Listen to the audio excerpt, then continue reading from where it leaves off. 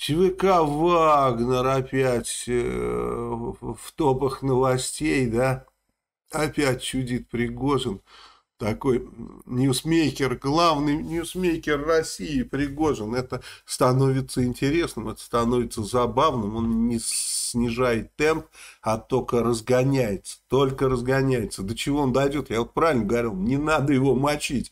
Он разнесет все, вот как вышедший из строя гироскоп, блядь. Начнет все разлетаться вокруг. И что сказал Пригожин? Да, глава ЧВК Вагнер предложил Стрелкову, ну какому Стрелкову, Гиркину, перейти от слов к делу и прибыть в одно из штурмовых подразделений Вагнера. А, да, вот он сказал следующее – Предлагаю ему прибыть на территорию ЛНР для назначения на руководящую должность согласно его компетенции в одной из штурмовых подразделений. Безусловно, высокую должность ему никто предложить не сможет. Для этого необходимо показать свои возможности. Пора переходить от слов к делу и так далее, и так далее. Да, и да, вот он заявил, Пригожин, Сирия это малая-малая-малая толика того, что мы сегодня делаем по всему миру. Великая Россия, тема велика, что она должна не только у себя под носом наводить порядок на далеких рубежах. И, короче, он, э, и Пригожин говорит, что э, намекает, да, что Гиркин из чистолюбия, да, из желания Э, прославиться, что-то делает, а он патриот Пригожин и так далее.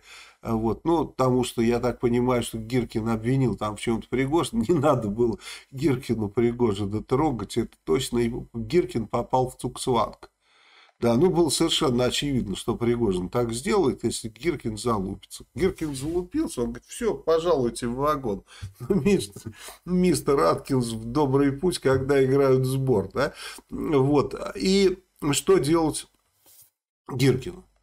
То есть понятно, что он может, конечно, устроиться в Вагнер Пригожину, к Пригожину будет все время как в тюрьме, да, то есть вокруг будут те люди, которые, когда нужно будет Пригожину, они его прибьют, или если нужно будет Пригожину, они его отдадут на Запад, ну, когда начнет все рушиться, скажут, так, что там, какие у нас козырные карты есть, ну, там можно с Западом договориться. Да, давай Киркина отдадим, они там его осудили пожизненно. А мы что-нибудь выхлопотаем за это.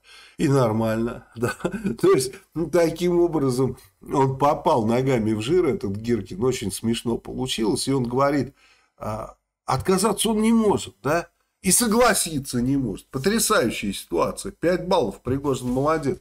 Если господин Пригожин, это Гиркин говорит, действительно имеет такого рода серьезные предложения ко мне и хочет меня привлечь к деятельности своей организации, то в его распоряжении находится очень много сотрудников, подчеркиваю, профессиональных военных, с которыми я мог бы, не выезжая в Луганск, обсудить все условия его предложения. До таких переговоров я даже не знаю, а, что отвечать. В любом случае я готов рассмотреть это предложение, не согласиться, а рассмотреть, если оно будет сделано в нормальном виде, если оно меня устроит. И, и все, понимаете? То есть вот он это говорит, никто к нему не придет ни на какие переговоры. Ему сказано, езжай в Луганск, ты никто, и там тебе дадим мы ружье ржавое, блядь, пойдешь в атаку. Вот что другими словами говорит Пригожин. Пять баллов. Хорошо Гиркина протроллил. Ну, очень смешно. Очень смешно. Да, и тут, представляете, вот только я говорил с близкими мне людьми по поводу политики и об одном из механизмов политики, который движет и который очень разрушителен. И сейчас он будет максимально разрушителен в России. То есть разрушение России может случиться в связи и с действием этого механизма. Это а, а, один из семи грехов – зависть. Зависть, я вот не подвержен зависти, слава богу, не знаю, что это такое, вообще не знаю. И, и так счастлив, потому что я вижу, как это мучает людей, как их разрушает это изнутри. Это чудовищно совершенно. Да, но хорошо, что это есть. И вот относительно зависти, которая гложет некоторых людей, Кадыров, сообщил об успешном штурме полком Север-Ахмат позиции ВСУ в Новой Михайловке. А я вам прочитаю, что там написано. Это не я придумал, это написали новости. А, Лента.ру пишет со ссылкой, а, это прямая речь. В результате боестолкновения противник понес потери и был деморализован. А что сделано конкретно? Кадыров отметил, что захвачены хорошо укрепленные и подготовленные к, дол к долгой обороне вражеские окопы. Первую линию обороны захватили, и это счастье. Ну там же Солидар, там, блин, Пригожин солидар забрал, а его тут верные нукеры, блядь, ничего не, не, не забрали, да, вот, ну, окоп хоть, блядь, один окоп, окоп забрали, забрали. Ну, все, сейчас я скажу. А также другие инженерные сооружения в лесополосе.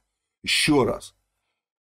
Хорошо укрепленные и подготовленные к долгой обороне вражеские окопы, а также другие инженерные сооружения в лесополосе.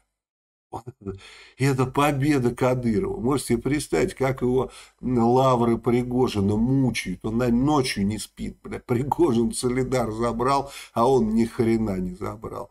Это очень весело. Просто 5 баллов. Ну и хорошо.